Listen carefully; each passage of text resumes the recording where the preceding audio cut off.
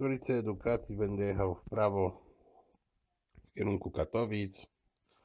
Skrzyżowanie z sygnalizacją świetlną. Sygnalizator S2, czyli tak zwana zielona strzałka, której tutaj nie widzimy.